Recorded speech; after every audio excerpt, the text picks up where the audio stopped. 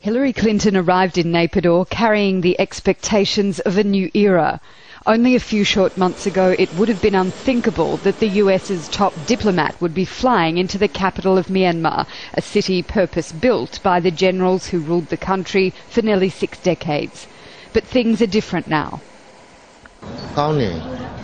It's good. Now we can do more.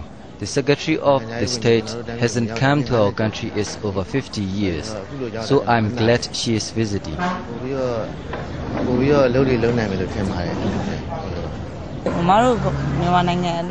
We are not isolated from the world anymore. I think communication with Western countries and our country has totally changed.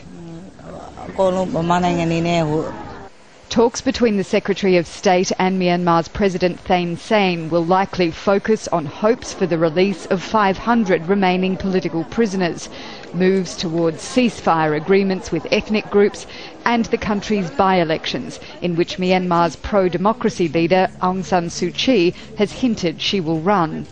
On Friday, she will host Mrs. Clinton at her lakeside home, where she was kept under house arrest for 15 of the past 20 years.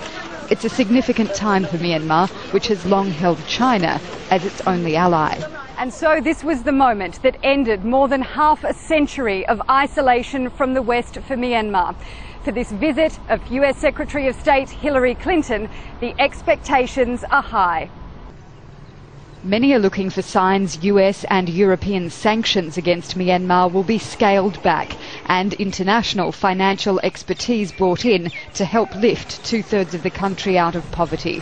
The pace of change in Myanmar has been fast, but the country still has much to prove.